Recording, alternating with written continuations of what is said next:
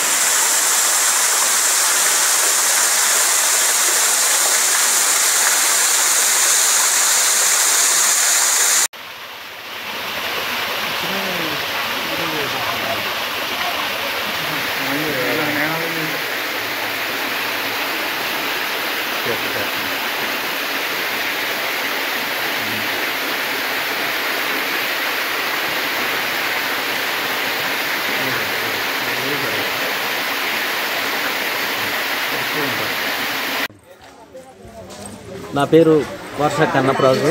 ఇక్కడ ఆలయ committee chairman గారిని. మాది కామవరం. పరసారగూడెం పంచాయతీ. శివారు కామవరం అడవిలో ఈ శ్రీ శ్రీ గోకులమంగమ్మ అమ్మవారు వెలిసి ఉన్నారు. ఈ జాతర మహోత్సవం పోయిన సంవత్సరం నుంచి జరుపుకోవడం జరుగుతుంది. అయితే ఈ సంవత్సరం కూడా ఇరవై ఐదు ఇరవై ఆరు ఇరవై ఏడో తే తేదీల్లో జరుపుకుంటున్నాం. ఈ జాతర యొక్క ఉద్దేశం ఏంటంటే వేద పండితులతోటి మూడు నాలుగు రకాల పూజా కార్యక్రమాలు ఉన్నాయి. కాబట్టి ప్రతి ఒక్క భక్తులు కూడా ఈ జాతరకి హాజరయ్యి ఈ యొక్క పూజా కార్యక్రమంలో పాల్గొని అమ్మవారు కృపని కృప పాత్రులు అవుతారని కోరి ప్రార్థిస్తున్నాను. సమర్పించడం జరుగుతుంది. భక్త భక్త మాషాయులు కూడా చాలా ఎక్కువ మంది వస్తున్నారు. వాళ్ళకి కావలసిన సదుపాయాలన్నీ కూడా మేము కమిటీ తరఫున వాళ్ళకి ఏర్పాటు చేస్తున్నామని మనం చేస్తాం.